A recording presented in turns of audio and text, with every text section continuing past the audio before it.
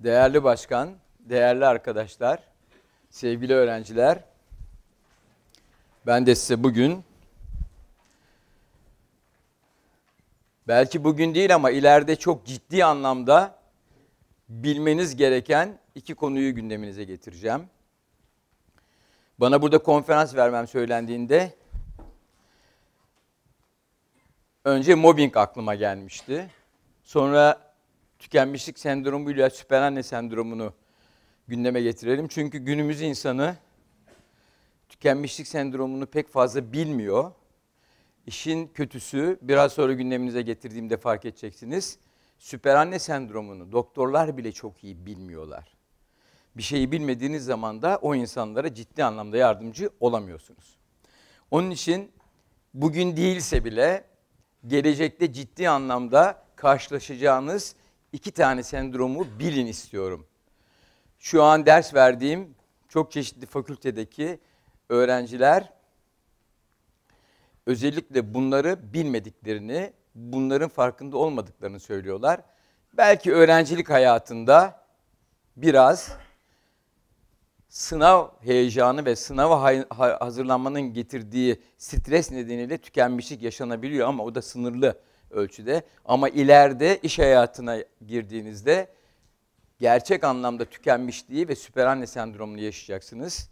Baştan söylüyorum, tükenmişliği yaşamayın, yaşamaya izin vermeyin ve lütfen ama lütfen insanların yaşamalarını da engelleyin. İzninizle tükenmişliğin tarifiyle başlamak istiyorum. İlk tarif yaklaşık 45 sene önce yapılmış. Herbert Freudenberger tarafından. O ilk tarif tabii çok sıradan ve kısa bir tarif. Başarısız olmak, yıpranmak, enerji ve gücün azalması veya tatmin edilemeyen istekler sonucunda bireyin iç kaynaklarında meydana gelen tükenme durumunu tanımlamış o kişi. Asıl bugün gündemde olan ve kabul görmüş tarif Christine Maslach tarafından yapılmış güncel bir tarif. O tarif şöyle. Tükenmişlik işi gereği yoğun duygusal taleplere maruz kalan ve sürekli diğer insanlarla yüz yüze çalışmak durumunda olan kişilerde görülen, bu çok önemli, yüz yüze çalışmak durumunda olan kişilerde görülen, yani kişilerle iletişim yaparak onların sorunlarına çare arayan, çare bulan kişilerde görülen fiziksel bitkinlik, uzun süreli yorgunluk, çaresizlik ve umutsuzluk duygularının hem yaptıkları işe, hem yaşamlarına, hayata, hem de diğer insanlara karşı olumsuzluk şeklinde yansımasıyla şekillenen bir sendrom, tükenmişlik sendromu. Yoğun stres altındaki kişinin, stres bu işte tabii ki çok önemli. Stresin bir sürü biliyorsunuz şekli var. Çok çeşitli yaşam olaylarıyla şekillenen bir olay stres. Sınıfta kalmak, sınavda zayıf almaktan tutun da işten olmak, işsiz kalmak, eşin ölümü gibi çok çeşitli konular insanların hayatlarında bir takım sıkıntılar, sorunlar yaşatan yaşamsal olaylar. İşte o streslerde tükenmişliğin gelişmesindeki olumsuzluklar. Böyle durumdaki insanlar aşırı yorgunluk yaşıyorlar, hayal kırıklığı yaşıyorlar ve önemli olan sonuna doğru işi bırakarak oradan uzaklaşma şeklindeki bir tercihle şekillenen sendrom. En çok kimde görülür derseniz, yapılan çalışmalarda tükenmişliğin en çok görüldüğü iş alanlarının başında sağlık geliyor. Bunu eğitim takip ediyor ve sonra da güvenlikle ilgili kişiler en çok tükenmişlik yaşıyorlar. Ve insanların yüzde sekseni yaşamlarının herhangi bir döneminde tükenmişlik yaşayabiliyorlar. Kişisel kaynaklar sona eriyor. Sürekli umutsuzluk, ümitsizlik, gelişek endişesi yaşanıyor ve enerji tükeniyor. Şu benim çok hoşuma gitti. Fiziken ayaktasınız, ruhen yataktasınız, psikolojik olarak nerede olduğunuzu bilmiyorsunuz. İşte böyle bir duygu durum ve fiziksel bozulma gerçeği. Ben şimdi size müsaadenizle bir yaşanmış örnekle devam etmek istiyorum. Bunu belki çoğunuz biliyorsunuz. 2012 Nisan ayında bir milletvekili Güneydoğu'da bir doktoru çalıştığı hastanede darp etti. Hem fiziksel hem de sözlü taciz. O doktor çalıştığı hastaneye bırakıp Van'ı terk etti ve memleketi Trabzon'a gitti. Vekilin şiddetine maruz kalan doktor bakın neler diyor.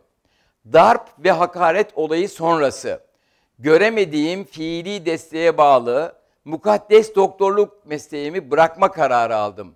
Maalesef acil tıp uzmanı olarak mesleğimin kalan bölümünü yapacak fiziksel ve ruhsal gücü kendimde bulamamaktayım.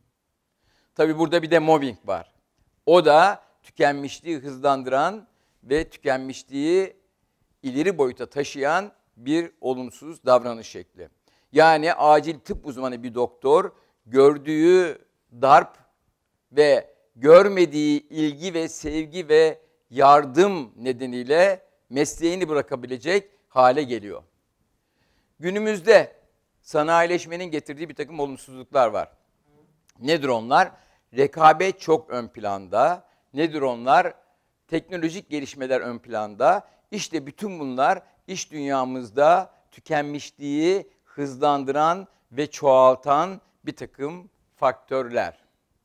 Bütün bunların sonucunda kişiler işlerinden soğuyorlar, canlılıklarını, heyecanlarını yitiriyorlar, çalışma şekilleri kırılıyor, geleceğe yönelik ümitlerini, umutlarını tamamen kaybediyorlar. Yaptıkları işten eskiden olduğu gibi keyif ve zevk almamaya başlıyorlar ve işlerinde daha önce uyguladıkları o insanlara yardım ve destek içeren çabaları göstermemeye başlıyorlar.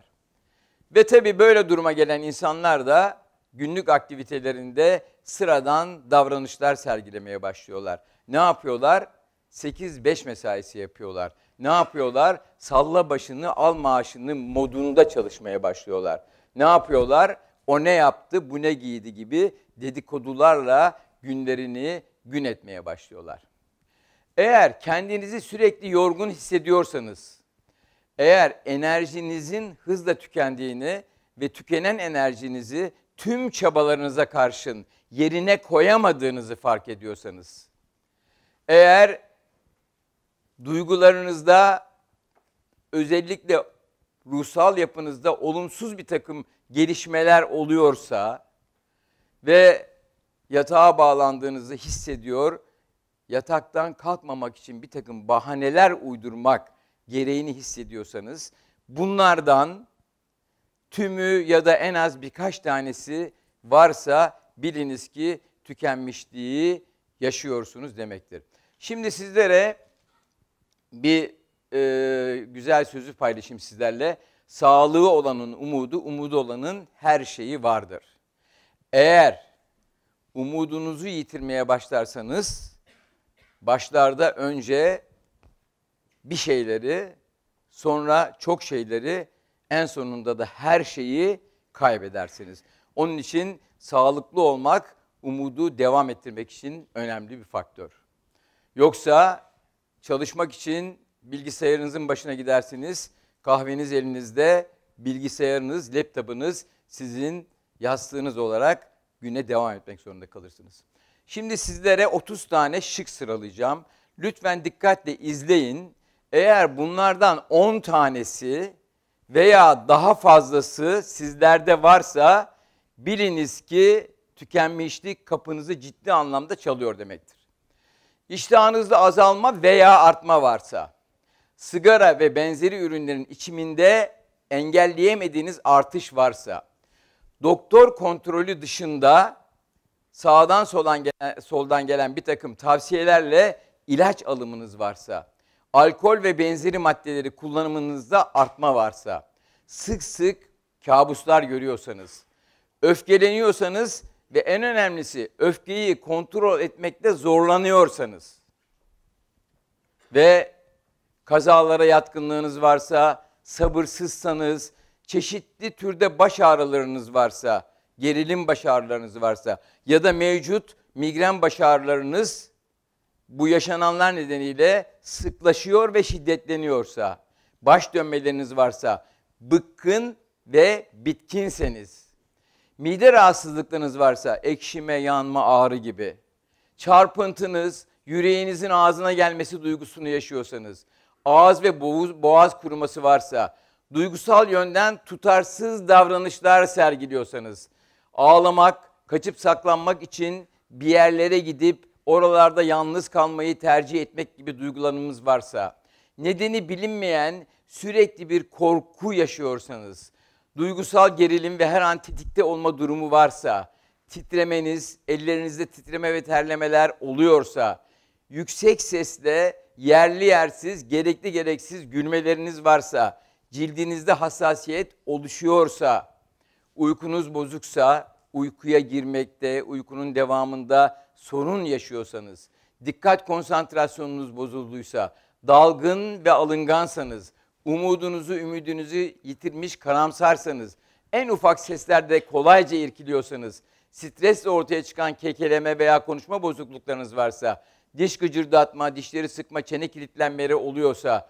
özellikle bayanlarda adet öncesi gerilimi veya düzensiz aletler varsa, omuzlarınızda, boynunuzda, ensenizde, belinizde engelleyemediğiniz ağrılarınız oluyorsa, enerjiniz düşükse ve kronik yorgunluk hissediyorsanız çok dikkatli olun. Lütfen şimdi hepiniz buna dalgın dalgın bakın. Eğer hiç dönmüyorsa bunlar sağlıklısınız, mutlusunuz, sıkıntınız yok demektir. Eğer yavaş yavaş dönüyorsa o zaman yorgunsunuz. Kendinize biraz dikkat etmek zorundasınız. Lütfen dikkatli olun. Bir takım olumsuzluklar kapınızı çalıyor demektir. Eğer çok hızlı dönüyorsa o zaman sizin için olumsuzluk pik yapmıştır. Ciddi sorununuz vardır. Kendinize dikkat edin. Tükenmişlik kapınızı çalıyor demektir. Tükenmişliğin başlıca nedenlerini sizlerle paylaşmak istiyorum. Tükenmişliğin en önemli nedeni sosyal desteğin olmaması ya da yeterince olmaması. Biraz sonra sosyal desteğin ne olduğunu, sosyal desteğin ne kadar önemli olduğunu sizlerle paylaşacağım. Çünkü sizler bu ülkenin geleceğisiniz. Bir takım doğruları bilmek, o doğrularla toplumu bir yerlere getirmek durumundasınız. Bir de kurumunuzun bu konudaki aidiyet duygusunu gördükten sonra çok şaşırdım. Keşke bütün kurumlar beraber çalıştıkları, birlikte iş yaptıkları insanlar konusunda bu kadar hassas, bu kadar verimli, bu kadar ilgili olsalar. Onun için ben de size sosyal desteğin önemini ve ne olduğunu sizlerle paylaşacağım. İkincisi kişilere ulaşamayacakları ve başaramayacakları kadar büyük hedefler koymak. Bu da çok büyük bir olumsuzluk. Kişilerin kaldıramayacakları kadar aşırı iş yüküyle onları çalıştırmaya çalışmak. Birlikte çalıştığınız kişilerin motivasyonunun düşük olması sonucu ellerini onların taşın altına koymaması ve sizin bütün her şeyi üstlenmek mecburiyetinde kalmanız bir başka tükenmişlik nedeni. Ve en önemlilerinden biri de kişinin karakteriyle yaptığı işin uymaması. Nasıl mı? Bakın. 10 senedir çocuklarını okutmak için bu hanım sıva yapıyor, harç karıyor, beton döküyor, tuğla diziyor, elektrik tesisatı döşüyor. Ve bu arkadaşımız üniversitede maliye mezunu ama atanamadığı için köyüne dönüp çobanlık yapıyor. Resim öğretmeni çorbacılık yapıyor. Bu arkadaş elektrik öğretmeni ameli olarak inşaatlarda çalışıyor ve intihar etti, ölmedi. Ve 82 yaşında bir nine. Bu 82 yaşındaki nine sabah başlayıp akşama kadar kağıt ve şişe topluyor. Oradan kazandığı parayla yaşamını devam ettiriyor. Ama 82 yaşında sabahın erken saatlerinde yola çıkan bu nine günün birinde bir kamyonun altında kalıp eziliyor. Tükenmişliğin belirti ve bulgularını şimdi sizlerle paylaşacağım. Dikkat etmeniz gereken konular. Birincisi fiziksel tükenmişlik belirtileri önemli. Önce fiziksel yönden tükeniyorsunuz. Enerjiniz azalıyor. Yorgunluk oluyor, güç yitimi oluyor, baş ağrılarınız oluyor. Baş ağrıları genellikle gerilim baş ağrısı şeklinde oluyor. Enseden yukarıya doğru olan bir baş ağrısı formatı. Ve demin söylediğim gibi eğer varsa migren türü baş ağrılarınız şiddetleniyor, sıklaşıyor ve başka tür baş ağrılarınızda artış meydana geliyor. Çeşitli mide ve bağırsak yakınmalarınız oluyor ve bulantınız, kramplarınız oluyor. Fibromiyalji dediğimiz çoğu kez doktorların bile tanı koymakta zorlandığı ensede, belde, omuzda, sırtta adı konmakta zorlanılan bir takım ağrılar oluyor ve bu ağrılar gün boyu devam ediyor. Ne yaparsanız yapın çoğu kez tedavide başarılı olamıyoruz. Uyku bozuklukları oluyor. Uykuya girmekte zorlanıyorsunuz. Gece sık sık uyanıyorsunuz. Sabah erken erken ve yorgun uyanıyorsunuz. Çünkü uykunun biliyorsunuz bir biyoritmi var. Non-REM, REM bölümleri var. O bölümleri iyice yaşamanız lazım. REM bölümü dediğimiz bölümde rüyalar görmeniz lazım. Ve en az bu siklusun dört kez tekrarlanması lazım. Ama tükenmişlikte bunların hiçbiri gerçekleşmiyor. Ve uykusuzluk ertesi güne yansıyan ciddi bir olumsuzluk olarak sizi rahatsız ediyor. En önemli sıkıntı gerçekten yorgunluk. Tüm bedeni etkileyen olumsuz bir gelişme. Duygusal tükenmişlik belirtileri var. Ne onlar derseniz bir kere duygu durum bozukluğu meydana geliyor. Depresif bir takım yakınmalar gündeme geliyor. Çevrenizdeki olaylara ilgi duymuyorsunuz. İsteksiz, neşesiz, karamsar, kötümser oluyorsunuz. Haberlere ilgi duymuyorsunuz. İştahınız azalıyor. Uykularınız dediğim gibi bozuluyor. Geleceğe yönelik umutlarınızı yitiriyorsunuz. Gelecek sizin için endişelerle dolu bir süreç olarak gündeme geliyor. Ve önemli bir faktör de bu.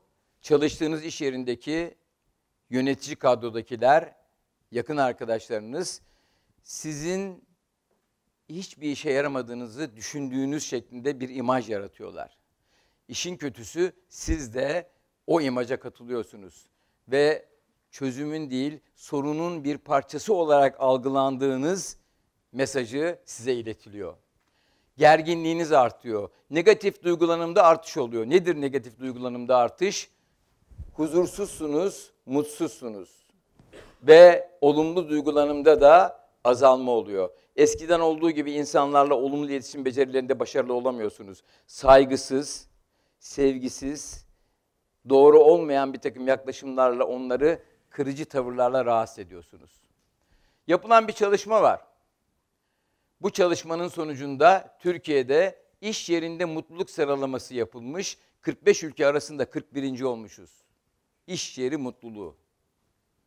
Evet. Bakın iki günde üç intihar var. Üçü de doktor. Daha doğrusu birisi doktor. Bu arkadaşımız Batman'da çalışıyor. Bu arkadaşımız Çukurova Üniversitesi'nde çalışıyor. Bu da bir tıp fakültesi öğrencisi.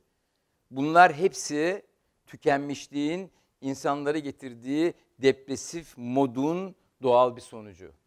Onun için çok dikkatli olmalısınız. Endişeli, huzursuz ve gergin oluyorsunuz. Öfke, kontrol bozukluğu yaşıyorsunuz. Öfke çok doğal, fizyolojik bir reaksiyon. Tabii ki öfkeleneceksiniz. Tabii ki bir şeylere reaksiyon göstereceksiniz. Bu çok doğal bir reaksiyon. Ama önemli olan öfkenizi kontrol etmede başarılı olmanız. Eğer öfkenizi kontrol ediyorsanız öfkenin zararı yok. Ama öfkenizi kontrol edemiyorsanız, öfke kontrol bozukluğu yaşıyorsanız önce kendinize, sonra da çevrenizdeki insanlara zarar veriyorsunuz. Bu modda yani tükenmişlik sendromundaki bir sıkıntılı süreçte öfke kontrol bozukluğu. Zihinsel yönden tükenmişlik yaşıyorsunuz. İşinizi önemsememeye başlıyorsunuz ve giderek işinizi bırakmak arzusuna kapılıyorsunuz. İlk olayda gördüğünüz gibi. Duyarsızlaşıyorsunuz. Çevrenizde sizinle ilişki kuran, size bir takım destekler veren, yardım eden arkadaşlarınız, iş arkadaşı, okul arkadaşı veya evdeki bir takım sevdiğiniz insanlara karşı olumsuz tavırlarla yaklaşıyorsunuz ve onları önemsemiyorsunuz. Onları küçültücü tavırlarla aşağılayıcı bir takım isimlendirmelerle rahatsız ediyorsunuz. Ve en önemlisi değişimlere tepki gösteriyor bu insanlar. Aslında değişim, gelişimin olmazsa olmazı. İleride lütfen ama lütfen bu dediklerimi unutmayın. Değişimlere açık olun. Eğer değişimlere açıksanız gelişimlere, ilerlemeye açıksınız demektir. Ama eğer değişime reaksiyon gösterip değişimi engelliyorsanız zarar veriyorsunuz demektir. Hem topluma hem de kendinize. Roy Blitzer'in bir güzel lafı var. Altı ıslanmış çocuktan başka hiç kimse değişimden, değişiklikten hoşlanmaz der. Ama lütfen ama lütfen değişim konusunda hassas olun ve gereğini yapın. Ama tükenmişliği yaşıyorsanız değişime de reaksiyon göstereceksiniz. Kişisel başarılarında düşme oluyor. Dolayısıyla çevresindeki insanlarla iletişimlerinde başarılı olamıyorlar. Onları aşağılıyorlar, küçümsüyorlar. Olumsuz ilişkilerin olumsuz çabalarıyla onları sıkıntıya sokuyorlar. Yapılan bir çalışma var. En çok tükenmişlik kimlerde görülüyor? En çok genç, bekar, çocuksuz bireylerde oluyor tükenmişlik. Kime göre? Evli, yaşlı ve çocuklu bireylere göre. Üniversite mezunlarında sizi çok ilgilendiriyor. Üniversite mezunu olmayanlara göre tükenmişlik daha çok oluyor. Tabii entelektüel seviyenin yüksekliği bu işteki bir olumsuz faktör. İş deneyimi birkaç yıllık olanlarda bir yıldan az, beş yıldan çok olanlara göre daha fazla tükenmişlik oluyor. Cinsiyet konusundaki çalışmalar her iki cinsin yaklaşık aynı oranda tükenmişlik yaşadığını gösteriyor. Peki tükenmişliği nasıl önleyebiliriz? Tükenmişliği önlemek için yapılacak bir takım doğrular var. Birincisi kişilerin sosyal destek kaynaklarından olabildiğince yararlanmalarını sağlamak. Eğer yararlanırsanız tükenmişliği azaltırsınız. Anne, baba, eş, okul arkadaşı, iş arkadaşı gibi bir takım kişilerin sosyal desteğiyle ayakta durmanız, direnmeniz ve tükenmişliği önlenmeniz mümkün. Ve bunlar gerçekten oluşturdukları güven duygusuyla tükenmişlik sendromunu azaltan olumlu bir destek. Eğer bu destekten yoksunsanız biliniz ki tükenmişliği yaşama şansınız çok fazla olacaktır. Güvenin en büyük akrabalık olduğunu lütfen biliniz. Ve OECD'nin yaptığı bir çalışma var 2016 yılının sonunda. Muhtemelen bu FETÖ hain kalkışmasının sonrasında yapıldığı için belki de bizi böyle olumsuz etkiliyor. Çünkü bu çalışmada Kuzey Avrupa ülkelerinde insanların birbirine güveni yüzde altmışın üzerinde arkadaşlar. Ama Türkiye'de yüzde on üçün altında. Onun için bizim biraz önce söylediğim konu çok önemli sizlere düşen görevlerden birisi de sosyal destek kurumunu ayakta tutmak, insanların birbirine güvenmesini sağlamak. Çünkü bakın Danimarka, Norveç, Hollanda, İsveç, Finlandiya gibi bütün Kuzey Avrupa ülkelerinde %60'ın üzerinde güven var insanların birbirine. Sosyal destek nedir? Sosyal destek zor durumda, çeşitli nedenlerle zor durumda olan, gerilim yaşayan, çareleri azalmış ya da çareleri tükenmekte olan kişilere yakın kişilerin yani yakın çevredeki kişilerin anne, baba, kardeş, eş, iş arkadaşı, okul arkadaşı verdikleri yardım ve desteğe sosyal destek diyoruz. Onun için bunu kimseden esirgemeyiniz. Ne oluyor? Stres altında kişinin sevildiğini, sayıldığını, ona değer verdiğinizi, onu önemsediğinizi, ilgi duyduğunuzu ve her şartta ona gereken yardımı yapabileceğinizin güvencesini onlara vermelisiniz. Birlik ve beraberliğin önemini vurgulamalısınız. Anne, baba, kardeş, eş, dost, arkadaş bütün bunlar sosyal desteği verebilecek kişilerdir. Onların endişelerini azaltırsınız, gerilimlerini önlersiniz, daha olumlu yaklaşımlarla daha istekli ve başarılı olmalarını sağlarsınız. Sosyal desteğin üç boyutu var. Maddi destek, duygusal destek ve bilişsel destek. Maddi destek ne demek? Maddi destek zor durumda çaresi azalmış ya da tükenmekte olan bir kişiye ekonomik olarak destek vermek demek. Yani işi olmayan birine iş bulmak demek. Yani yeni doğmuş bebeğine bir annenin nasıl yardım edeceğini, neler yapacağını ona göstermek ve ona yardım etmek demek. Ya da bir hastaya ekonomik yönden destek vermek demek. Duygusal destek ne demek? Duygusal destekte kişilerin yaşadıkları bir takım sıkıntıları aşmaları için onlara gereken ilgiyi, sevgiyi, yardımı, güveni vermek için empatik tavırlarla yaklaşımlarda bulunmak demek. Etkin, empatik tavırlar kullanmalısınız. Yani o kişilere kendi sorununuzmuşçasına o sıkıntıyı aşmaları için destek vermelisiniz. Yani bir iş yerinde sıkıntı yaşayan bir insana onu dinleyerek empatik tavırlarla, olumlu yaklaşımlarla hak vermelisiniz.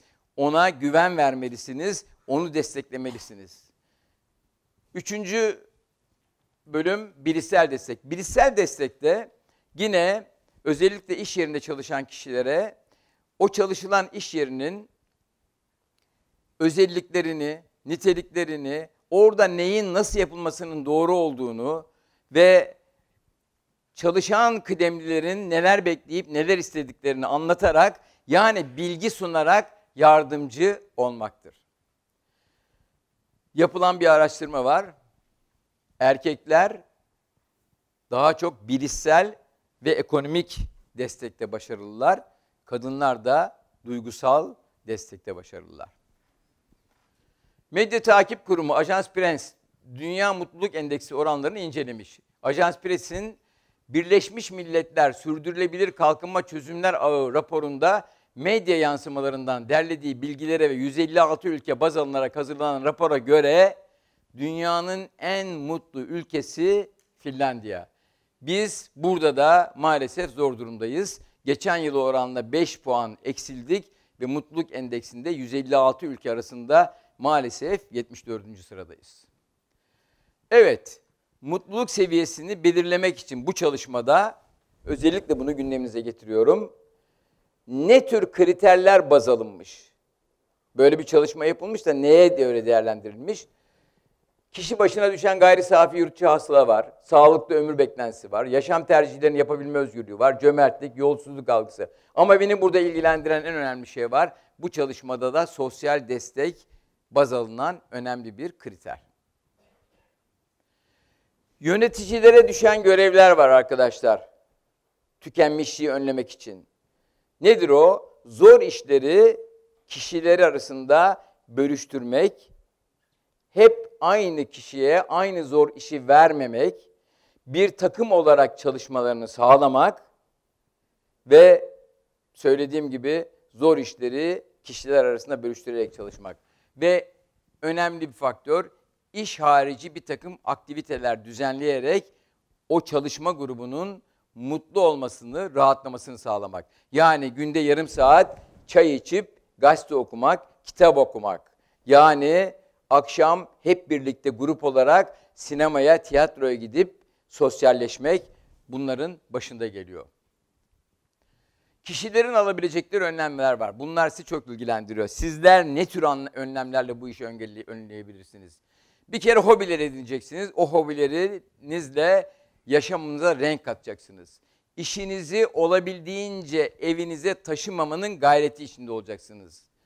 Eğer yaşlı, bakıma muhtaç, zihinsel veya bedensel engelli birisine bakıyorsanız, yaşlı birisine veya ciddi hastalığı olan birisiyle ilgileniyorsanız kendinize yardımcı bulacaksınız. Yardımcı bulmak için mutlaka para ödeyerek yardımcı bulmak gerekmez. Ailede size yardım edebilecek, destek olacak kişilerden de yardım almayı bileceksiniz.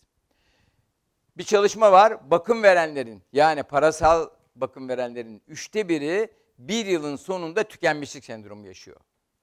Ve ailenin kendi fertlerinin bakım verenlerinde de her dört kişiden birinde depresyon görülüyor. Mesela Türkiye Onkoloji Grubu Derneği'nin yaptığı bir çalışma var.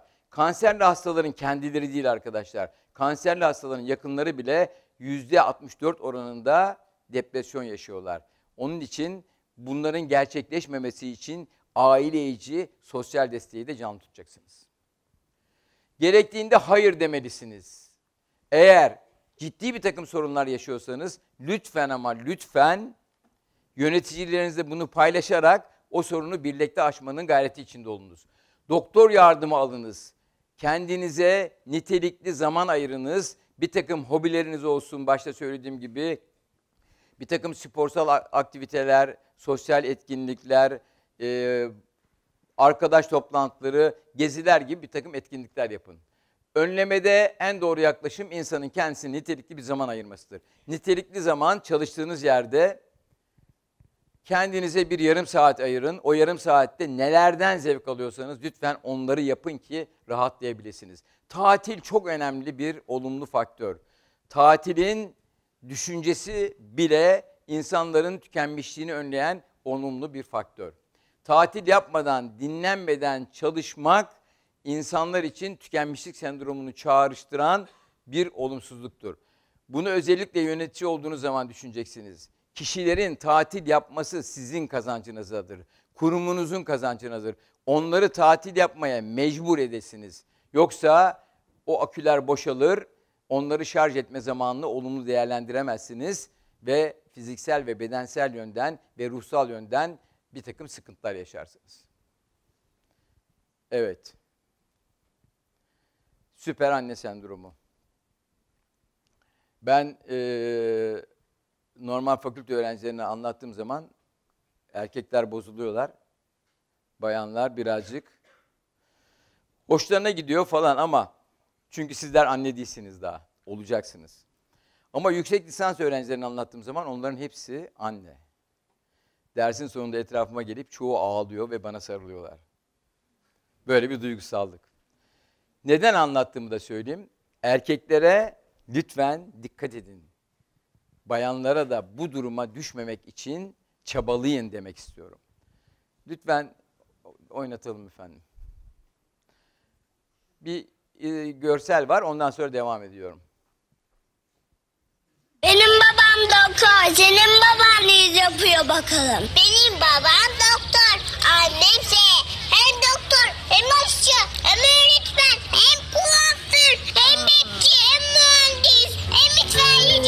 Anneler evin her şeyi. Anneler gününde ona hem pastacı hem dondurmacı hem ayakkabı bağlayıcı. Evet. Anneler böyle. Evet. Günümüz kadınları gerçekten özellikle büyük metropollerde bu net olarak böyle. İşleri var ve o işte çalışmak zorundalar. Sabah bir buçuk iki saatte işe gidecekler, sekiz saat çalışacaklar, bir buçuk iki saatte geri dönecekler. Zaten günün yarısından fazlası bitmiş oluyor. Yeter mi? Hayır yetmez. Ev işleriyle ilgilenmek zorundalar. Her ne kadar haftada bir, 15'te bir bir kadın gelip temizlik yapsa bile o temizliğin dışında bir takım işler var. Ütü yapacaklar, yemek yapacaklar, sökükleri dikecekler. Bir takım özel durumlar için bir yığın şeyi gerçekleştirecekler. Yeter mi? Hayır yetmez. Çocuklarına bakacaklar. Onların beslenmesinden, sağlıklı olmasından, giyiminden, okullarından, sosyal etkinliklerinden sorumlular. Yeter mi? Hayır yetmez. Buyurun. Fit ve sağlıklı görünmek zorundalar. Hem gittikleri çalıştıkları yerde böyle olacaklar hem de çevreye karşı o imajı, o mesajı vermek zorundalar. Yeter mi? Hayır yetmez. Kariyer yapmak lazım. Öyle ya, üniversiteyi bitirdiler, lisans okudular, yüksek lisans yapacaklar. Yeter mi? Yetmez. doçent olacaklar, profesör olacaklar ya da müdür olacaklar, genel müdür olacaklar, CEO olacaklar. Onların da hedefleri var haklı olarak. Evet, bütün bunlarla uğraşırken bu kadar yoğunluk içinde bir takım ruhsal ve bedensel sağlık sorunları yaşıyorlar. İşte bu sağlık sorunları sağlık sorunlarıyla da baş etmek zorundalar. Bir anda o deminden beri anlattığım işler, bir anda yaşanan sağlık sorunları ve onlarla baş etmek. İşte bu kişilere çağımızın en önemli sorunu olan, en büyük tehlikesi olan anneler için bu e, sendroma süper anne sendromu veya zorlanmış anne sendromu diyoruz. Ben şöyle bir tanım yaptım. Süper anne sendromu 25-30 yaşını aşmış, işinde yoğun olarak çalışan ve başarmayı ilk hedef olarak düşünen, evli, çocuk ya da çocukları olan, evinin işlerini, eşinin ve çocuklarının beslenmesini ve diğer gereksinimlerini gidermeyi vazgeçilemez sorumluluğu olarak gören, çocuğunun ya da çocuklarının eğitim ve sosyal gelişimlerini görev edinen, her konuda mükemmeli hedefleyen, ilgili, bilgili, kaliteli, kapasiteli, üretken kadınlarda daha sık görülen, çok çeşitli sağlık sorunlarıyla özellenen çağımızın kadın tükenmişliğine tüken süper anne sendromu diyoruz. Neler oluyor derseniz bir kere devamlı baş ağrılarından yakınıyorlar. Kas ağrıları, eklem ağrıları, kramplar var. Bağırsaklarda şişkinlik var, mide bozuklukları var, uyku bozukluğu var, sürekli kendilerini yorgun hissediyorlar. Halsizler, kırıklık var, cinsel istekte azalma var, çarpıntı var, konsantrasyon zorlukları yaşıyorlar. E tabi bu kadar çeşitli sistemleri ilgilendiren sağlık sorunları olunca doktorlar bile tanı koymakta zorlanıyorlar. Başta söylediğim gibi çoğu doktor süper anne sendromunu bilmiyor çünkü çağımızın hastalığı çok da gündeme gelen bir konu değil. Tabii doktorların aklına o zaman çok çeşitli hastalıklar geliyor. Ne yapıyorlar? O hastalıkların ayrımını yapmak, net tanıyı koymak için bir yığın testler yapıyorlar. Çünkü çok çeşitli semptomlar var. Acaba kansızlık mı var, anemisi mi var, kanser mi oldu, migreni mi var, fibromiyalisi mi var, fizik tedavi mi gerektiriyor, hangi branş ilgilensin? Bütün bunları araştırmak lazım. Onun için de bir yön tetkik yapıyorsunuz. Kan tetkikleri, idrar tetkikleri, EEG'ler, EMG'ler, Doppler'ler, BT, BT'ler, bütün bunları yapmak zorundasınız. Bütün bunların sonucunda da çok ciddi bir tanı koymakta zorlanıyorsunuz. Kronik yorgunluk diyorsunuz olmuyor, tükenmişlik sendromu, fibromiyalji, psikosomatik hastalık. Bütün bunlar bir yere kadar. Bazen doktorlar bile ailenin diğer fertleri gibi düşünüp bunun bir kapris olduğunu yorumluyorlar. İşin en kötü tarafı da bu. Çünkü o kadın çok üretken bir kadın, çok çalışkan bir kadın, bir sürü şey yapıyor ama doktoruna bile kendisini anlatamıyor. Hakikaten bunu ispatlamak için acı çektiğini, sıkıntı yaşadığını, bir sürü sağlık sorunuyla uğraşmak zorunda olduğunu anlatamıyor. Doktoru bile bunu kabul etmiyor. Evet. İşin garibi yakınınızdaki insanlar da sizi almıyor, anlamıyor. Ve abarttığınızı, dikkat çekmek için bunları yaptığınızı düşünüp kapris olarak bu yakınmalarınızı düşünüyorlar. Tabii bu sizde bir hayal kırıklığı oluşturuyor. Çünkü siz hem her şeyin en iyisini yapmaya çalışıyorsunuz, hem onları yaparken bir takım sağlık sorunları yaşıyorsunuz. Sağlık sorunları nedeniyle çektiğiniz acıları kimseye anlatamıyor, kimseye kabul ettiremiyorsunuz. Böyle bir olumsuzluk var ve bunu gidermek için biraz daha fazla çalışmak gereğini hissediyorsunuz. Bunları sizlerle paylaştım, hızlıca geçiyorum. Bir takım şikayetler. En çok hangi annelerde görülüyor derseniz, eğitimli, başarılı, çalışkan, üretken, titiz ve becerikli, mükemmelliği yakalamak için hedef koymuş, her şeyin en iyisi için çabalayan annelerde daha sık görülüyor. Ve tabii biraz önce söylediğim gibi bütün bunların yanında kariyer yapmak amacınız. Evli de olsanız, çocuğunuz da olsa kariyerden uzak durmanız mümkün değil. Ve çocuk da yaparım kariyerde şarkısı eşliğinde birlikte çalıştığınız kişileri aşma gayreti içine giriyorsunuz. Bu da çok doğal ama bu da sizin süper anne sendromunu yaşamanız için bir olumsuzluk. Çünkü o da ciddi bir takım olumsuzluklar gündeme getiren diğer bir olay. Evet Nil Kara İbrahimgil'in anlamlı sözleri var. İyi ki doğdum, gördüm mü 25 oldum, ne güzel bir kadın oldum. Koysalar önüme bariyerde, çocuk da yaparım kariyerde. Kanatlandım özgürüm ben de, kalamam hayatın köşesinde şarkısı eşliğinde yola yürümeye devam ediyorsunuz. İşin garibi kendi anneniz babanız, eşiniz, eşinizin sülalesi, çalışma yerindeki diğer arkadaşlarınız sizden klasik kadın rolleri bekliyorlar ve de maalesef istiyorlar. Gerçi evinizin düzeninden, çocuklarınızın bakımından, temizlikten, yemekten, bir takım evle, işle ilgili sosyal yakınmalar, ya- olaylardan size yardım eden birisi var, eşiniz. Ama eğer herhangi bir olumsuzluk yaşarsanız eşiniz devre dışı. Sorumluluk sizindir. Sorumluluk sizde. Bütün her şeyin hesabını verecek olan yine sizsiniz. İstediğiniz kadar destek alsanız da. Evet. İyi bir eş olarak kocanızı dinlemek zorundasınız. Önceliği ona vermeniz gerekir. Dış ilişkileri düzenlemek ama dış ilişkilerde arka planda durmanız gerekir. Olumsuz bir takım olay gündeme geldiğinde, eşiniz bir şeye kızdığında bile, çocuğunuz sinirlendiğinde bile, onu olumluya çevirmek yine size düşecektir. Kayınvalidesi gibi eşinize güzel yemekler yapmak, kendi anne babanızı, kayınvalide, kayınpeder, diğer akrabaları eve toplayıp onları sofralarda ağırlamak yine sizin görevinizdir. Nişan, düğün, sünnet gibi sosyal etkinliklere hediyeler almak, onları kutlamak yine sizin işinizdir.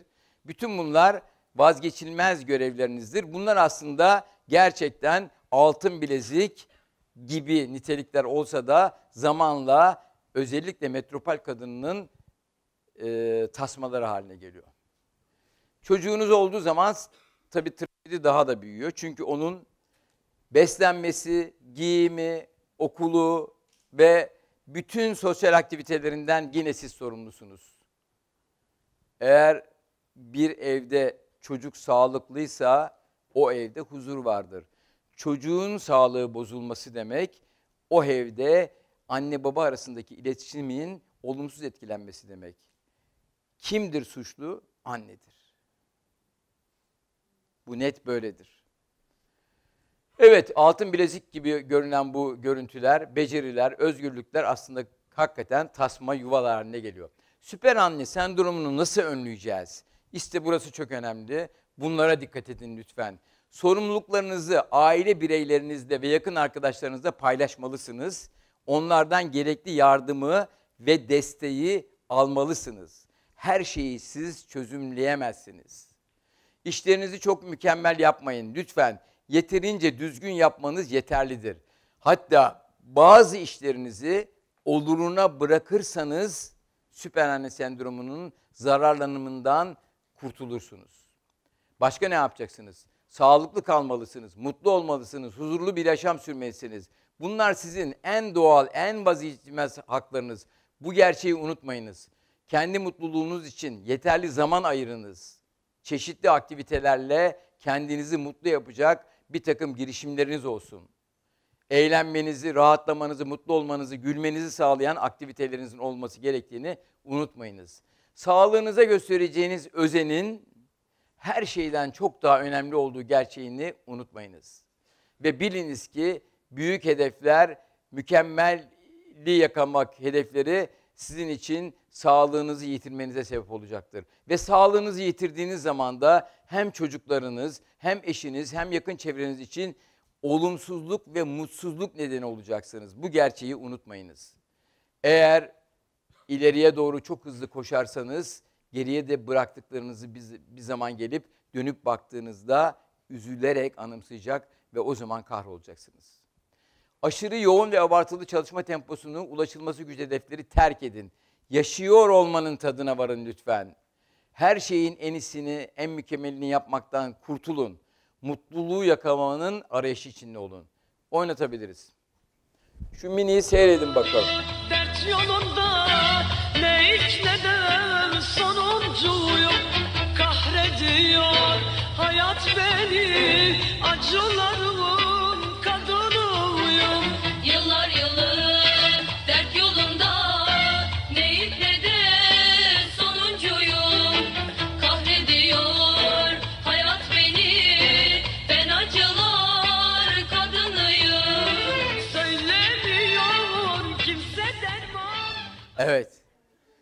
Lütfen ama lütfen kendiniz için mutlu olabileceğiniz keyifli anları yaratmanın gayreti içinde olun. Gerektiğinde hiç düşünmeden doktor desteği alacaksınız. Bu çok önemli. Benim bir özdeyişim var. Önce sağlık, sonra sağlık, sonra yine sağlık. Bunu lütfen unutmayınız. Beden ve ruh sağlığınızın bozulmaması hedefiniz olsun. Yüksek çalışma temposunun, abartılmış hedeflerinin geleceğinizi olumsuz etkilememesine, etkilemesine izin vermeyin. Ve biliniz ki zaman zaman hata yapacaksınız. Çünkü hatasız kul olmaz. Bu da çok önemli bir şey değil. Biliniz ki sağlığı olanın umudu vardır, umudu olanın da her şeyi vardır. Bu gerçeği unutmayın. Sizin asıl amacınız ne olmalı biliyor musunuz? Sevdiklerinizle birlikte mutlu olabileceğiniz, yaşamanın tadına varabileceğiniz, geriye dönüp baktığınızda pişmanlık duymayacağınız, sağlık sorunları olmadan yaşamınızı sürdürebileceğiniz, ulaşılır hedeflere yönelmeniz olmalıdır. İzninizle bir özel anne öyküsüyle sonlandırmak istiyorum. Thomas Edison bir gün eve geldiğinde annesine bir kağıt verdi. İlkokul öğrencisi. Ve bu kağıdı öğretmenin verdi. Sadece sana vermemi tembihledi dedi. Annesi kağıdı gözyaşları içinde oğluna sesli olarak okudu. Oğlunuz bir dahi. Bu okul onun için çok küçük ve onu eğitecek yeterlikte öğretmenimiz yok. Lütfen onu kendiniz eğitin. Aradan uzun yıllar geçtikten sonra Edison'un annesi vefat ettiğinde o artık yüzyılın en büyük bilim adamlarından biriydi ve bir gün eski aile eşyalarını karıştırırken birden çekmecenin köşesinde katlı halde bir kağıt buldu ve alıp açtı. Kağıtta oğlunuz şaşkın, akıl hastası bir çocuktur. Artık kendisinin okulumuza gelmesine izin vermiyoruz yazılıydı. Edison saatlerce ağladıktan sonra günlüğüne şu satırları yazdı. Thomas Alva Edison kahraman bir anne tarafından 100 yılın dahisi haline getirilmiş şaşkın bir çocuktu. Teşekkür ederim.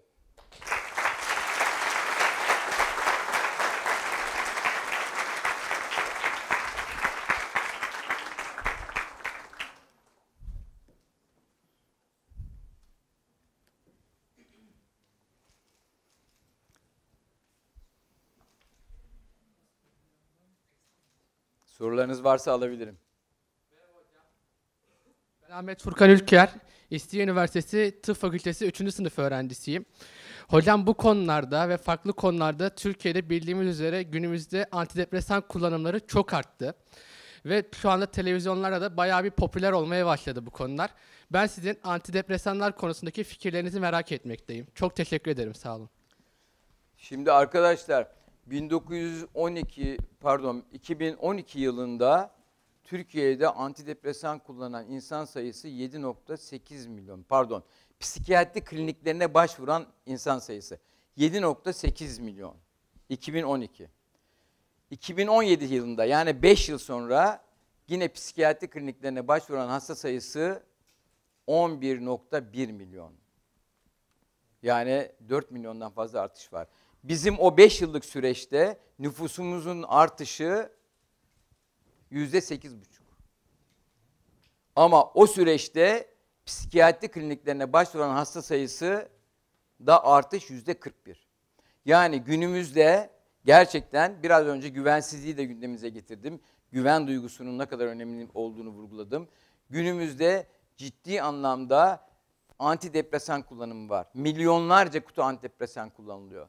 Antidepresan kullanımının engellenmesi için ne yapacağız? Bir kere demin size söyledim. Herkese bu düş- görev düşüyor. Özellikle siz gençlere daha çok düşüyor. Geleceğe yönelik bir takım düşünceleriniz olacak. Birbirinize güvenmelisiniz. Güven duygusunun en önemli akrabalık olduğunu bileceksiniz. Bir şey daha paylaşayım sizde. 2013 yılında yapılmış bir çalışma var. İnsanların yaşlandıktan sonra özellikle 50 yaşından sonra sırtlarını dayayacakları bir insanı bulma çabası hangi orandadır diye araştırma yapılmış. Sırtlarını yaslayacakları insan oranı Türkiye'de yüzde 68. OECD ülkelerinde yüzde 87. İngiltere'de yüzde 93 arkadaşlar. Ben İngilizlerin birbirine bu kadar düşkün, bu kadar fedakar olduklarını hiç düşünmezdim. Ben düşünürdüm ki Türkiye'de insanlar birbirinin sırtını birbirine yaslayacak kadar sevgi, ilgi, yakınlık doludur. Ama ortaya çıkan rakamlar maalesef tam tersini gösteriyor. Bütün bunları aşmanın yolu toplumu birleştirip, bütünleştirip kardeşlik duygusunu, güven duygusunu aşılamak ve geliştirmekten geçer. Onun için kurumunuzu kutluyorum. Bu kadar kişiyi böyle özel ve güzel günlerde bir araya getiriyorsunuz. Antidepresanların kullanımına gelince iki şey var. Genellikle doktorların çoğu antidepresan kullanma konusunda tedbirli ve dikkatlidirler. Ama eğer yakınmalarınızı biraz önce tükenmişi anlatırken söylediğim gibi çevrenizdeki kişilere söyleyip onlardan ilaç talimatı alıyorsanız veya eczacınızdan ilaç talimatı alıyorsanız biliniz ki doğru yapmıyorsunuz demektir. Toplum da bu konuda yanlış yapıyor ve belki de o kadar ilaç kullanmamıza gerek yok. Belki bir takım şeyleri ilaç kullanmadan çözebiliriz. Belki de antidepresifler değil başka anksiyolytiklerle bu işi çözebiliriz. Onun için duyarlı olmamız gerektiğini düşünüyorum. Madem tıp fakültesi öğrencisi var içimizde bir şeyi daha sizlerle paylaşayım. Gallup şirketi Amerika'da bir çalışma yapmış. 20 tane meslek belirlemişler. O 20 meslekte en güvenilir meslek hangisidir sorgulamışlar. Yüzde 84 ile en güvenilir meslek hangisidir sizce? Avukatlık. Başka? Başka? En güvenilir meslek yüzde 84 ile hemşirelik arkadaşlar. Ondan sonra yüzde 67 ile doktorluk geliyor. Ondan sonra yüzde 66 ile eczacılık geliyor. Sonra yüzde 33 ile yüzde 33 ile gazetecilik geliyor. Yüzde 8 ile iki tane meslek var. Yüzde 8 de. Birini isterseniz söylemeyeyim. Biri araba satıcıları. En sonunu söylemeyeyim müsaade ederseniz. Tahmin ediyorsunuzdur umarım. Teşekkür ederim. Sonra kulağınıza söylerim. Evet, başka arkadaşlar. Merhaba. e, sunum için teşekkür ederim. Fatih Burak Karagöz Boğaziçi Üniversitesi'nde Türk Edebiyatı okuyorum. E, benim sorum şu olacak. Daha çok siyasi boyutundan merak edeceğim. Mutluluğun siyasi literatürde şey söylenir. Coğrafya mutluluktur denir ya da mutluluk coğrafyadır denir. Bununla ilgili böyle e, ayrıntılı bir bilginiz var mı? Bunun hakkında ne düşündüğünüzü merak ediyorum. Teşekkür ederim. Şimdi e, coğrafya mutluluk olsaydı herhalde en güzel coğrafyada biz yaşıyoruz. Değil mi hocam? Coğrafya hocamız yanımızda. En zor coğrafyada Finlandiya yaşıyor arkadaşlar. Kuzey Avrupa. Neredeyse gece gündüz sıkıntısı yaşıyorlar. Soğuk bir yandan. Her türlü coğrafi sıkıntı var Finlandiya'da. Finlandiya'nın yedi adını biliyor musunuz? Avrupa'nın Japonya'sı diyorlar.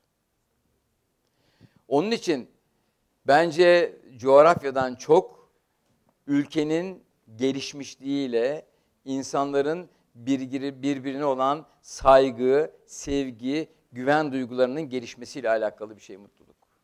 Eğer bu faktörler varsa mutluyuz, yoksa biliniz ki coğrafya pek fazla faydalı bir faktör değil. Amerika da çok mutlu, fena sayılmaz. Onların da coğrafyası çok karışık, çok değişik. Yukarıdan aşağı iniyorlar. Ama onlarda bir faktör var mutluluğu getiren. Hepimizi sömürüyorlar. Bizim yiyemediklerimizi yiyorlar. Bizim yapamadıklarımızı yapıyorlar. Bu arada emperyalizmi tarif etmiş oldum. Evet. Merhabalar.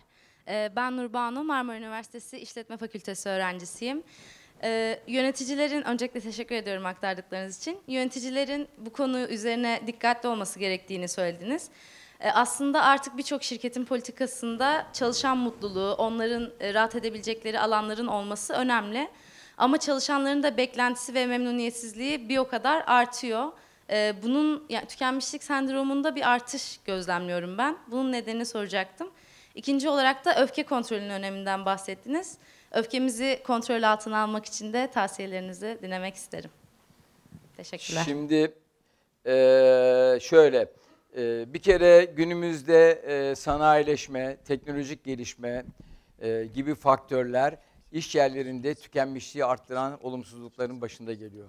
Ama onu düzeltmenin yolu da gerçekten kişiler kadar, kişilerin sosyal destek alması kadar aynı zamanda birlikte çalıştıkları, onları yöneten kişilere de düşüyor. Dediğim gibi zor işleri hep aynı kişiye verip o kişiyi sıkıntıya sokmamak lazım.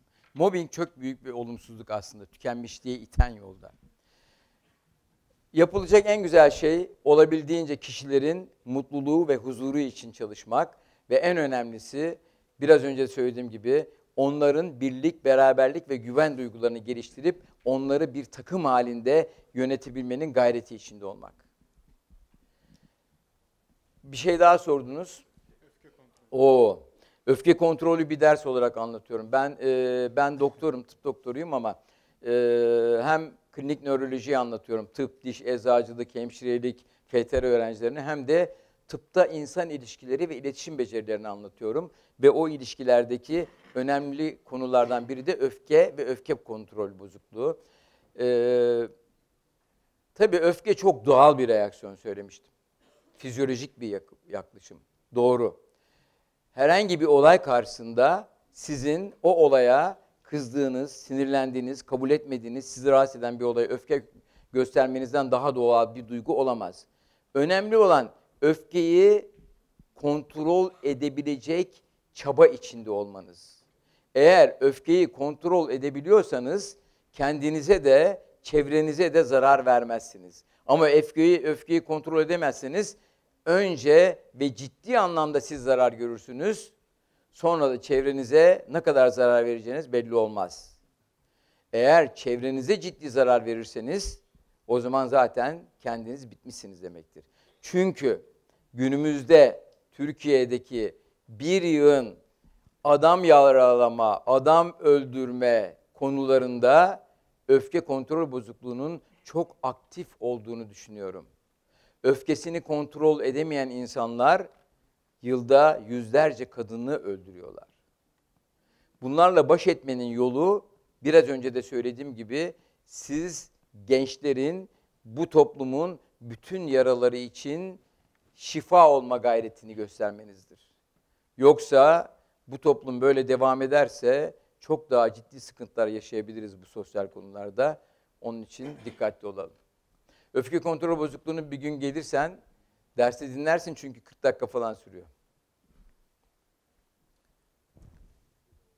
Ee, hocam öncelikle geldiğiniz için çok teşekkür ederiz. Ağzınıza sağlık. Sağ. Ee, Marmara Üniversitesi Hukuk Fakültesi 3. sınıf öğrencisiyim. Ee, şu anda sınav dönemindeyiz malum. Bizim sınavlarımız da devam ediyor. Ee, sosyal medyada arkadaşlarımızın sürekli paylaşımları malum sınavla sınavlarla alakalı. Herkes şunu paylaşıyor. Ya yine mi ders çalışıyoruz? Allah kahretsin. Bıktık ders çalışmaktan. Artık sosyal medya bile hani giresiniz gelmiyor. Öyle bir hale geldi şu anda. Ee, siz buna öğrenciler açısından nasıl bakıyorsunuz onu merak etmiştim. Şimdi eee, baştan beri hep bir şeyi vurguluyorum. Kendinize nitelikli bir zaman ayıracaksınız. Ders çalışın, çalışmayın değil. Zaten çalışamazsanız başaramazsınız. O artık olmazsa olmaz bir şey. Ama çalışırken de mutlaka kendinize sizi mutlu edecek, rahatlatacak bir zaman ayırma mecburiyetiniz var. Eğer o zamanı ayırırsanız derse olan konsantrasyonunuz da çok olumlu etkilenecektir. Eğer o zamanı ayıramazsanız biliniz ki aynı şeyleri okuyup okuyup anlayamayacaksınız. Arkadaşlarınızla bunu paylaşın lütfen. Ve onlara deyin ki mutlaka ama mutlaka 24 saat ders çalışılmaz. Bir ara verin. O arada gazete mi okuyacaksınız? Televizyon mu seyredeceksiniz? e, çay mı içeceksiniz? Ben kendimden örnek vereyim. E, ben GATA Ankara'da uzmanlık eğitimi alırken biraz fazla yoğun çalışıyordum. Biraz başarılıydım galiba. Hocam her yere beni gönderiyordu. Amiral general dairelerinde bendim. Yoğun bakımda bendim. Hastalarda bendim. Acilde bendim. Bütün her yere gidiyordum. Ve çok yoruluyordum. Öğlen yemek yedikten sonra günde dört tane de sigara içiyordum. 35 senedir içmiyorum yalnız. Onu da bildireyim.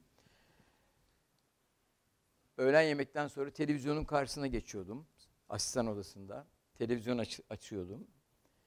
Bir sigara yakıyordum, bir çay alıyordum ve diyordum ki arkadaşlar ben o zaman tabii büyük tükenmişliği falan bilmiyorum. Daha asistanım. Arkadaşlar diyordum.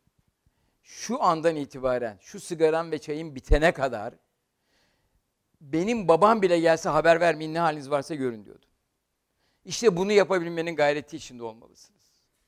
Onu yaptığınız zaman oh yarım saat sonra her şey yeniden başlayabilir.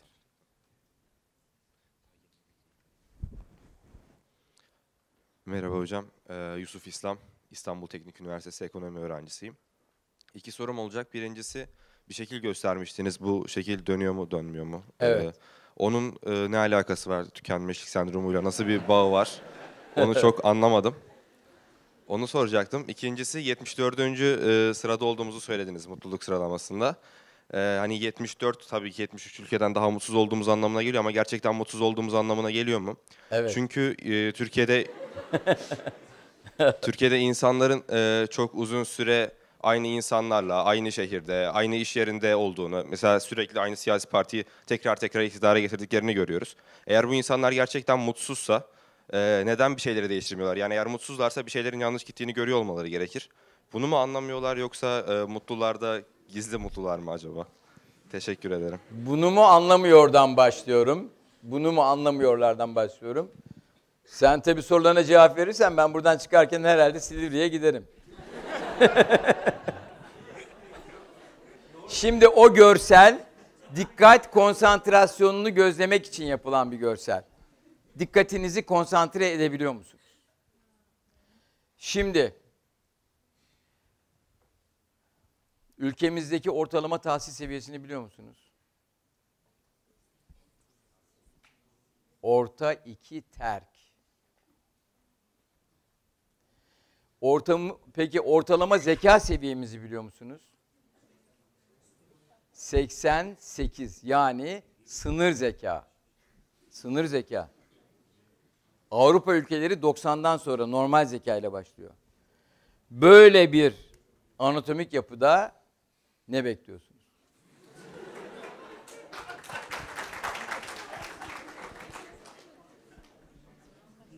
Arz ederim. Hayır, genetik değil. Genetik değil. Ee, biraz çaresizlik var. Biraz gelişmiş ülkelerin, emperyal güçlerin bize verdikleri büyük zararlar var. Eğitim kalitemiz iyi seviyeye gelmedi. Baştan beri bir şeyi vurguluyorum. Lütfen ama lütfen bu konularda hassas olun. Bu ülkenin gelişimi, değişimi sizlerin çabalarıyla mümkün olacaktır. Biz de gençliğimizde bir takım görevler üstlendik. Ama çok iyiye gitmediğimizi görüyorum. Belki de bizim hatamız. Siz aynı hataya düşmeyin istiyorum. Gelişmişliğin ülkenin kurtuluşu olduğunu, her türlü güzelliği yaşamak için mutlaka değişimin, ilerlemenin, gelişmenin şart olduğunu bilerek davranınız istiyorum. Daha fazla konuşturma beni.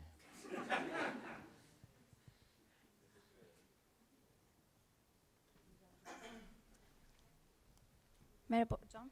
Ee, Ben Merve Tuğba Nur Kuşçu, e, Marmara Üniversitesi Tıp Fakültesi 3. sınıf öğrencisiyim. Siz e, sürekli süper anne sendromunda kadına verilmiş olan e, görevlerin fazlalığından bahsettiniz. Yani burada anne adayı olacak insanlar kadar bence baba adayı olacak insanlar da var. Ve şunu fark et, yani şunu söylemişti bir çocuk psikiyatri hocamız. Anne çocuk için ekmek su gibidir. Anne mutluysa çocuk mutlu. Baba ise hani kadayıf üstüne kaymak gibi. Hani demek istemiyorum ama hani olsa da olur olmasa da olara getirdi birazcık. Bu noktada hani annenin madem bu kadar mutlu olması önemliyken ve tüm görevler anneye kalmışken neden burada sadece e, birazcık daha biz yakalanmamak için neler yapmalıyızdan öte hani erkeklerin birazcık daha bu görevi paylaşmasına yönelik bir şeye odaklanmıyoruz konuya. Peki. Ee, şimdi şöyle. Dikkat edersen ne dedin? Anne Ekmek su gibi. ekmek su. Yemeğe ekmek suyla başlanır. Ekmek suyu yemezsen tatlının bir anlamı yoktur. Hiç kimse tatlıyla yemeğe başlamaz. Ben burada başta bir şey söyledim. Anne adayları için bunları söylüyorum ama erkek arkadaşlarım da lütfen inlesinler, dinlesinler. Onlar da bu prensiplere uygun tavırlarıyla onların süper anne sendromuna girmelerini engelleyecek yaklaşımlarda bulunsunlar dedim. Bir şey sorayım ben de size o zaman. Tıp fakültesi 3. sınıf öğrencisiniz. Tıpta insan ilişkileri, iletişim becerileri gibi böyle konuların konuşulduğu dersleriniz var mı? Evet, 3 senedir alıyoruz. Tamam. Mesela kötü tanılı, çareleri düzel, tükenmiş veya tükenmekte olan zor durumdaki hasta ve hasta yakınlarına nasıl yardımcı olunur anlatılıyor mu? Bu konuda henüz bir konuya değinmedik ama iletişim dersleri adı altında aldık. Teşekkür ederim. Benim iletişimden kastım bu. Yani bunları bilmenizi istiyorum da onun için gündeme getirdim. Çünkü yarın doktor olacaksınız. Mesela ölen hasta ve hasta yakınlarına nasıl yardımcı olabiliriz? Dinlediniz mi? Hayır. Ama yani bunu gazetelerde, televizyonlarda görüyorsunuz. Nasıl ölüm haberi verildiğini görüyorsunuz. Onları yapmayın istiyorum da onun için gündeme getirdim. E tabi iletişimde başarılı olmamanın sonucudur bazı darplar. Bazı darplar var. Ne yaparsanız yapın engelleyemezsiniz. Çünkü onlar psikopat. Ama zor durumda, çaresi azalmış ya da tükenmekte olan insanlara neyi nasıl söylemeniz gerektiğini bilirseniz o darpları engelleme şansınız var. Ama onu bilmezseniz gidip de böyle koridorda yürürken yürürken ha senin annen mi öldü ya derseniz orada darp olursunuz arkadaş. Bu kadar basit. Evet dinliyorum. Tamam, teşekkür ederim. Ee, teşekkür ederim önce sunumunuz için. Ee, Melih Çağatay Şahin Yıldız Teknik Üniversitesi İnşaat Mühendisliği öğrencisiyim. Ee, biz yen- 74. sıradayız demiştiniz mutlulukta. İlk sıralarda büyük ihtimal Kuzey Avrupa ülkeleri Finlandiya. Finlandiya var. Ee, ben yani eskide bir şey okumuştum ne kadar doğru bilmiyorum ama Kuzey Avrupa ülkelerinde intihar vakalarının hani monotonlukla onların işte bu gece gündüz saatleriyle alakalı olarak e, fazla olduğunu okumuştum ama ya bunun monotonlukla mesela bizim ülkede her gün bir heyecan, bir aksiyon yani bir daha garip ama monotonlukla bir sendrom intihar sayıları arasında bir bağlantı kurabilir misiniz ya da bunun hakkında bir veri var mı? Tabii şöyle söyleyeyim. Ee, intihar en büyük nedeni biliyorsunuz duygu durum bozukluğu. Onun nedenlerinin başında çaresizlik ve depresyona girmek geliyor.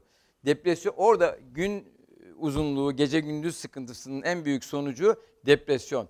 Ama o ülkelerde intihar var da bizde yok mu derseniz bizde de var. Öyle bir çalışma oranını bilmiyorum. Ee, ama bildiğim bir şey var.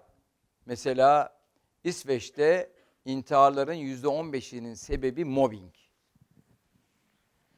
Bizim ülkemizde mobbing oranı onlardan çok çok yüksek. Sizlere aslında mobbingi anlatmayı da düşünmüştüm ama dediğim gibi bu konuyu seçmem daha uygun görüldüğü için böyle yaptım. Onun için e, yani ülkeler arası intihar kıya- kıyaslaması konusunda bir şey diyemem. Ama orada da intihar var, burada da intihar var. Yok diye bir şey yok. Merhabalar hocam. Ee, Cabir Kaplan İstanbul Teknik Üniversitesi İnşaat Mühendisliği öğrencisiyim. Sormak istediğim şey şuydu. Zeka oranıyla ilgili bir şey söylediniz de.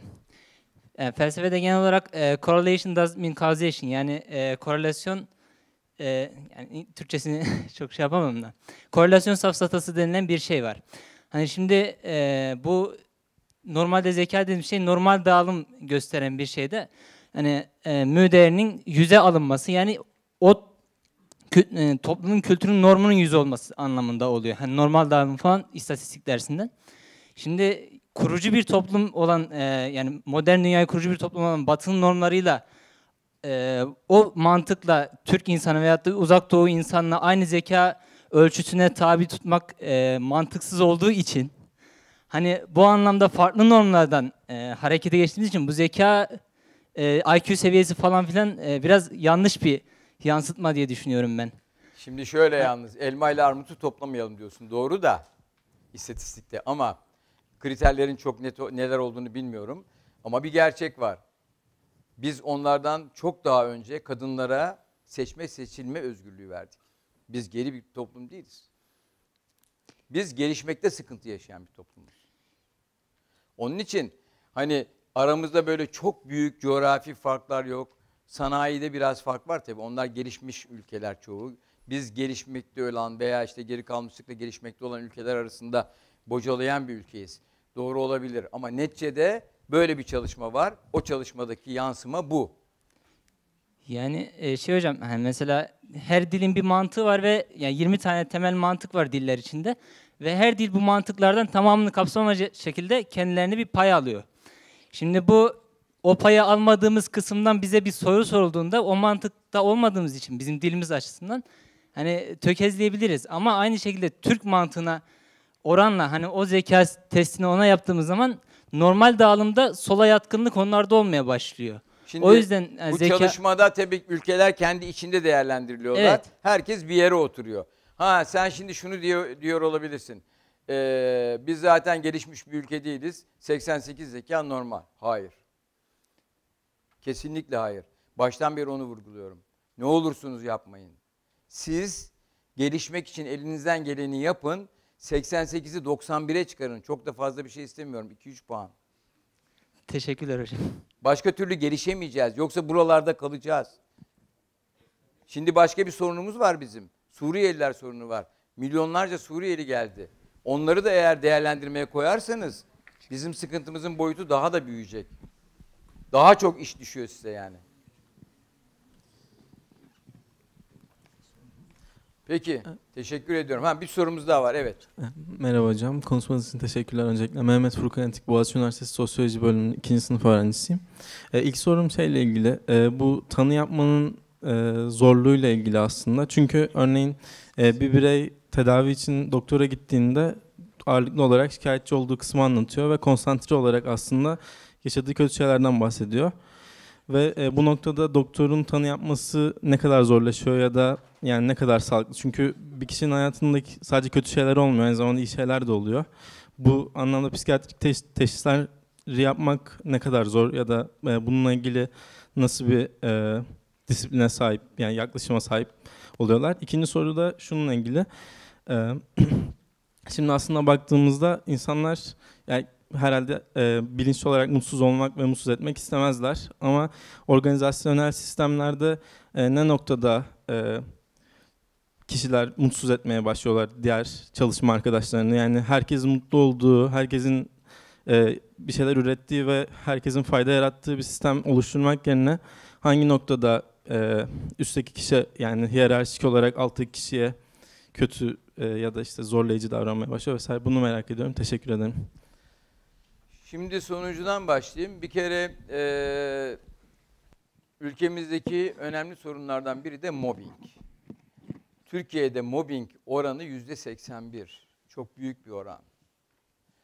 Eğer siz çalıştığınız yerde çalışma arkadaşlarınızdan biraz ama sizi yönetenlerden çok fazla oranda sıkıntı yaşıyorsanız, o sıkıntıyı aşmak için onların yardımına gereksinimi olduğunu düşündüğünüzde, onlardan destek almaya kalktığınızda, yardım istediğinizde o yardımı göremiyorsanız, çalışma arkadaşlarınız o size kötü davranan kişiye uymak mecburiyetinde kendini hissediyorsa çaresizlik nedeniyle bu güven bunalımını yaratan en önemli faktör.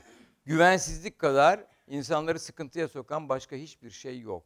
Eğer çevrenize güvenmiyorsanız, çevreniz gereken önemi, güveni, yardımı, ilgiyi, desteği size vermiyorsa biliniz ki o güvensizlik duygusu giderek yayılacak ve büyüyecektir. Tedavi konusunda tabii özellikle tükenmişlikte de süper anne sendromunda da çok çeşitli bir takım yakınmalar var. o yakınmaları bir doktorun değerlendirip tanı koyması çok kolay değil. Gittiğiniz zaman doktor sizi genellikle yakınmalarınıza yönelik testlerden geçirdikten sonra bulduklarına göre yönlendirecektir başka branşlara. Ama süper anne sendromunda söylediğim gibi maalesef günümüzde doktorların çok e, bu konuyu bildiklerini söyleyemem. Bilenler mutlaka vardır, ilgilenenler. Ama genellikle insanlar bu kadar karmaşa içinde kan sonuçları, bir takım testler, laboratuvar testleri de normal çıktığında ne tanı koyacakları konusunda biraz sıkıntı yaşıyorlar.